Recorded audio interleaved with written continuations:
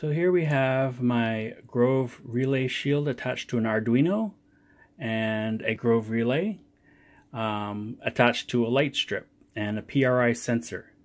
So it's set for 9,000 milliseconds. So this will actually shut off in a few seconds uh, because it was activated just before the start. There it goes off. And if I want to reactivate this, I just pass my hand in front of the motion sensor and the light strip comes back on. So uh, I'm going to turn this off and uh, we'll just let it go through a cycle one more time and then I'll, there we go. I just move my hand and it popped back on. So now I'm going to turn it off and we'll take a look at some of the components. We'll start with what's right in front of us. This is a 3M warm white LED strip. So it's uh, just got two leads we have the, the motion sensor right here, which is a PRI motion sensor by OSEPP. The top shield right here is your relay shield by Grove. Below that is your Arduino. Connected via this uh, data and uh, power cable is your relay, which is right here. That's also by Grove. So you can get these from Seeed know, maybe get a better shot right there. There you go.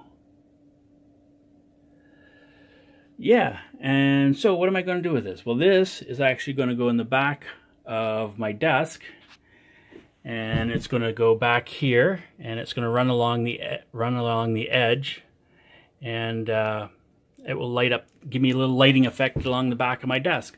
And I'm also thinking of, I have an additional strip, and I'm thinking of putting it either behind here or I have a workstation, which is really messy right now, and installing the LED strip here, cutting it in two, one for the back and one for the front, and use it to light this area here, which is a little bit dark in comparison with the rest of the room if I'm working on stuff. So that's what I'm working on. And uh, I'll just turn this off and uh, we'll do a little video with the finished product with it all set up. Welcome back. This is just to show the final completed project of uh, LED highlighting for the back of my desk, triggered by a motion detection sensor there at the top of the monitor. The motion detection sensor is an OSEPP. Uh, it can be controlled, both its timing and its sensitivity at the top. And uh, if you want to take a quick look, there's the code, which will be posted on my website. And then this down here is where I decided to hide all everything. So this is your uh, relay. You can see there in the center.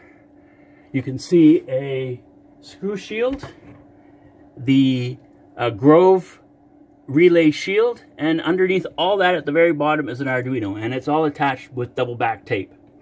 We have an on-off switch. And down here we have access to the USB via USB cable, if I ever needed. And that's what the final project looks like. It was uh, took me a little while to do and some begging and groveling to get the code because I'm not very good at coding. I hope you enjoyed this little project and talk to you soon.